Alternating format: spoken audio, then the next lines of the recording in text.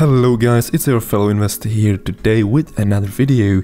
In this video I'm going to be talking about Healthier Choices Management Corp with ticker symbol HCMC and their latest first quarter of this year 2021 results. So if you're interested in that, definitely keep on watching. So as we can see on the graph, minus 17.5% of yesterday's sell. Uh, that's very unpleasant to see. But if you go into the market right now, a lot of the growth stocks, a lot of uh, penny stocks are going down without any reason whatsoever. People are just shorting the hell out of it or are just panic selling because, you know, they haven't been in the market for a long time. So they aren't really aware of the stock market correction and they are just new to this so they panic sell. Definitely invest or trade with a strategy and stick to your strategy you know. Uh, uh manage your risk to reward uh, and all that kind of stuff. With that intro, let's get now into the quarter results. So as we can see, they had their first quarter financial results for this year. So what is actually good news that they've delivered strong results with an adjusted EBITDA improvement of 9% year over year. The net sales from operations amounted to approximately 3.5 million, down 40% from the same period last year, but it's a significant portion of decline related to last March's Rona Rona sales surge in the grocery segment. People were panicking, people were buying as much food as possible, and then the food ended up in a trash, and it was a really big waste of food. You know, it is what it is, and this is what happened, and now they have less net sales. We could have seen this one coming. Total operating expense was approximately $2 million for three months, ended March 31st, a decrease of 15%. So that's a great sign that they are getting their operating operating expenses down. Net loss from operations was approximately $696,000, a 1% decline from the prior year, so nothing really extreme. And as mentioned, adjusted EBITDA loss amounted to $394,000, an improvement of approximately 9% when compared to the same period last year. Jeffrey Holman, Chairman and Chief Executive Officer of Healthier Choices Management Corp said, We are pleased with our first quarter results, which reflect the normalizing of sales and increasingly improving momentum of our operating cost reductions. Mr. Holman concluded, we continue with our commitment to better the fundamentals of our operations. The progress made is largely attributable to simplifying our structure and sharpening our focus and we believe that the, our businesses are well poised to continue delivering operational improvement. So of course the CEO will not say a bad thing about his company, but you have to give him uh, credit because they've been expanding a little bit and you know focusing on their shareholders and trying to put their company in a better position thanks to the publicity they are getting. It opens up a lot of door for them, which we will go through in their SEC filings. And if you don't know where to look into their SEC filings, just go to sec.gov. It's a security government website where you have available all stocks or penny stocks being traded, they have to be registered, they have to file documents, so you, this is the place where you want to go, and then you type ticker symbol or the name of the company, and then you select the document you like to read. So, you know, I select quarterly report, and boom, here we are, Form 10Q, which stands for quarter results. Now, right now, it start. Uh, we'll go. We'll, we'll go quickly through their assets. So as we can see, their total current assets have greatly, but I mean greatly increased over 100%, mainly on the cash and cash equivalents part. That's actually great if you look into the SEC filings. I don't know why they haven't mentioned this uh, in the highlights because this is very important for company to be well positioned with their cash because you never know what kind of crisis can come.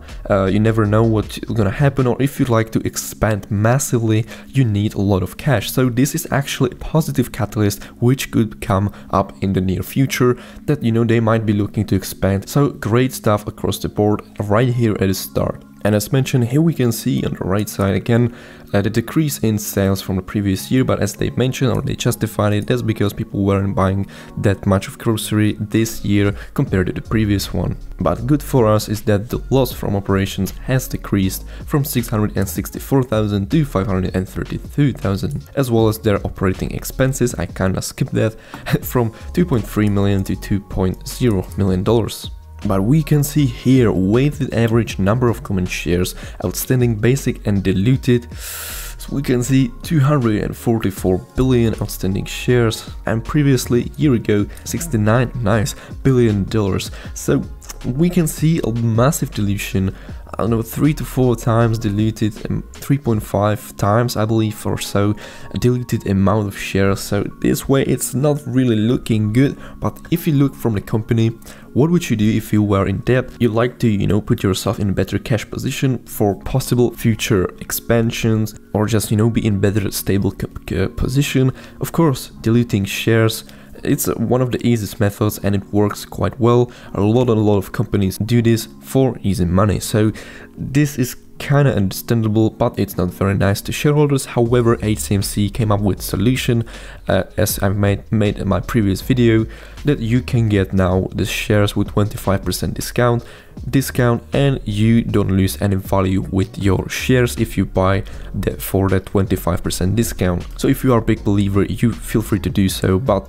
you know, I'm not a financial advisor, this is not a financial advice, I am just sharing the information how I see it. And as I already mentioned, uh, we can see they've very much took their debt in debt seriously, they want to get rid of their debt, so they've reduced it for four, from 4.9 million dollars to 1.6. What is interesting that two lawsuits were filed against HCMC and its subsidiaries, however, it's, it's over a year ago, and given the lack of the information presented by the plaintiffs, to date, the company is unable to predict the outcome of these matters and at this time cannot reasonably estimate the possible loss or range of loss with respect to these legal proceedings. So, you know, there is also another lawsuit happening uh, that some companies are suing HCMC, but you know, they don't have really that much of information, so I wouldn't really be too bothered with that.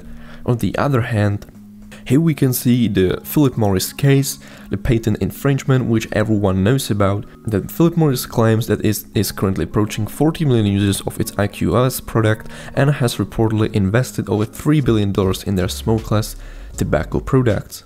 With respect to legal costs, we record such costs as incurred. Carefully now, we can see that the company accepts to continue incurring losses for the foreseeable future and may need to raise additional capital to satisfy business obligations and to continue as a going concern. Therefore, we could see well another direct offering or public offering so they can get more money but it's nothing certain it's just they just say it might happen. So that's about it. I went really quickly through their financials to their sec filings. If you'd like to you know know more about it i'll definitely put a link to it in the dis in the description so feel free to go through it on your own. But if you look into their market cap, their current market cap regarding to yesterday is 506 $507 million with about 285 billion unrestricted outstanding shares. Here we can see HCMC is still holding 88,000 watchers, so the people aren't really leaving or joining heavily, but we can see the message volume has down has went went down heavily when the stock went down, so it goes kind of hand in hand. And last but not least, if we check out shortvolumes.com, we can see the short volume is getting actually lower uh, because the stock price goes lower as well. So we can see it's it is shorted about 25% regarding to shortvolumes.com, but it's not anything extreme like 80% or so, as we can see here on the graph, like in the ninth, uh, like during the end of January when the stock price was quite high. So that was my take on current situation with HCMC and their quarter results.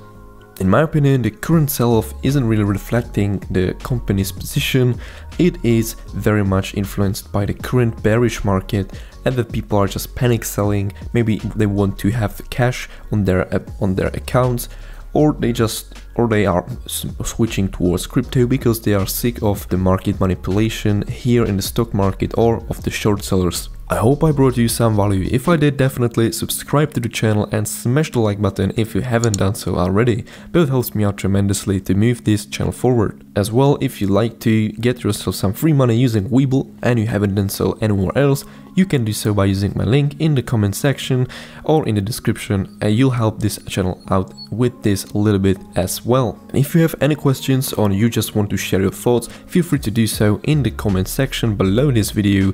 I go through my comments, I respond if I can, and I'm interested in your thoughts about this current topic, so definitely tell me what you think via your keyboard, on your phone or on your computer. With that being said, thank you so much for watching and I'll see you in another video.